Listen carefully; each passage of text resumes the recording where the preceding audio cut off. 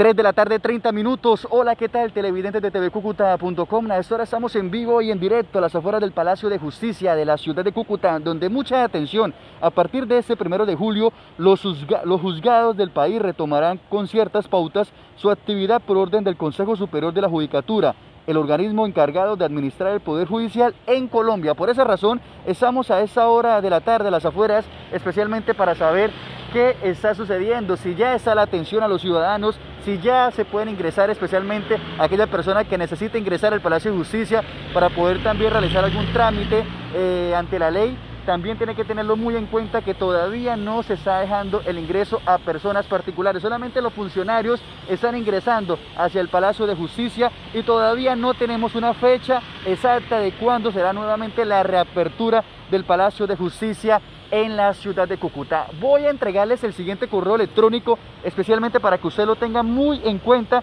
si necesita algún tema judicial de la ciudad de Cúcuta. Mucha atención, el correo es el siguiente para que usted lo note en sus celulares o en una libreta. A partir del primero de julio, o sea, del día de hoy, enviar las demandas a demandascuc.ramajudicial.gov.co. Vuelvo y le repito el correo electrónico para que usted pueda enviar sus demandas a partir de hoy, primero de julio. El correo electrónico es el siguiente, demanda cuc arroba cendoj.ramajudicial.gov.co Este es el correo electrónico autorizado especialmente que se encuentra en esta cartelera informativa en el Palacio de Justicia Francisco de Paula Santander, en donde la noticia, vuelvo y les comento, es que todavía se encuentran las puertas totalmente cerradas al público para aquellas personas que desean ingresar a este Palacio de Justicia. Cabe resaltar también, especialmente mediante acto administrativo el pasado 27 de junio, esta instancia ordenó reanudar los términos judiciales que estaban congelados desde marzo y fijó una serie de normas de bioseguridad para la prestación del servicio.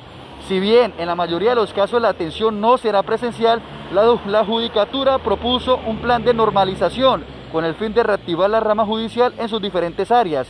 También el tema del uso del tapabocas, lavarse bien las manos, el alcohol, el uso del tapabocas, todos esos temas para prevenir el contagio. Asimismo, se estableció que en los despachos no se podrá superar el 20% del aforo, todas las personas deberán usar tapabocas y solo se atenderá con cita previa y en horarios acordados. También cabe resaltar que, sin embargo, la apuesta más grande para poner en marcha los juzgados, tribunales y cortes radica en que tanto funcionarios judiciales y la ciudadanía no abandonen sus hogares, es decir, las demandas, recursos y demás acciones se interpondrán a través de canales electrónicos institucionales que desde este primero de julio estarán habilitados.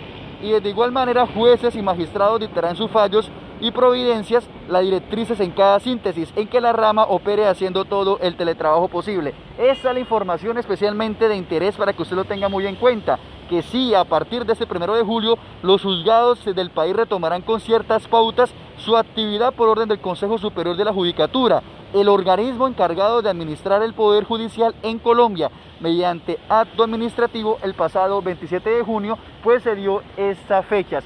Vuelvo y les comento, ya se pueden especialmente enviar las diferentes solicitudes, las diferentes demandas al siguiente correo electrónico que ya en pocos minutos se los voy a compartir a través de este en vivo y en directo que es demandacuc.sendoc.ramajudicial.gov.co para que usted pueda seguir adelantando sus diferentes trámites. Solamente los funcionarios están trabajando acá adentro de las instalaciones del Palacio de Justicia Francisco de Paula Santander todavía no está habilitado para que el público pueda ingresar a este Palacio de Justicia. Es un tema también muy, muy de, de, mucha espera, especialmente ya que se están reactivando los diferentes sectores económicos, pero también los servicios del Estado. Esta mañana estuvimos en la notaría primera de la ciudad de Cúcuta, al frente del Parque Colón, del Parque de la Victoria, en donde ya están prestando los diferentes servicios para que usted lo tenga en cuenta. Servicios presenciales, los diferentes horarios de oficina de 7 de la mañana a 12 del mediodía, del 2 de la tarde hasta las 5 de la tarde.